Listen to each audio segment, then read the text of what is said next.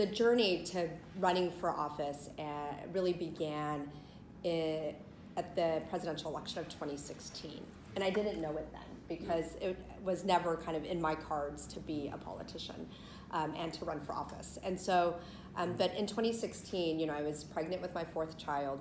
And after that uh, election, it was just really kind of stunning. Um, and it was really discouraging for Matt and myself. And just kind of thinking through that night, even, um, you know, uh, Fritz has talked a little bit about kind of my history coming here. And so, um, you know, when I think about kind of my life's journey and what that moment meant on election night, uh, you know, my parents at the end of the Vietnam War, my dad was sent to re-education prison and he was there for a couple of years. And when he was released, my parents were like, we don't have a future under this oppressive regime and we really need to leave.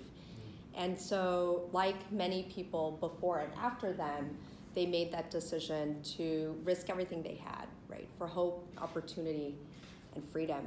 And, uh, and we see that now, and I know we'll talk about it a little bit later about kind of the immigrant and refugee situation that we're facing, not just in this country, but I think worldwide. And um, so I know, you know, I knew what my parents had risked to get us to America. I knew what all the hard work that they had put into their life's work.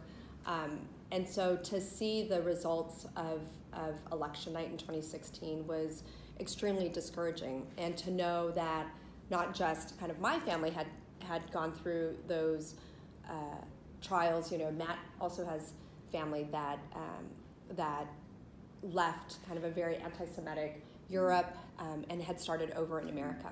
And so you know, here we are expecting this brand new life and, you know, kind of juxtaposing both of that. And we decided that uh, for us, what was really important was that this baby was going to have a name that reflected our values kind of in this moment. Like, kind of for us, it was really important. We actually said to ourselves, I think this is going to be a resistance name. Mm-hmm. Um, but we decided to name the baby Elise Minkan. And Elise was inspired by Ellis Island. So Matt has family that passed through Ellis Island as they were escaping anti Semitism and began their lives in America. Minkan is Vietnamese for bright bell, and that was inspired by the Liberty Bell.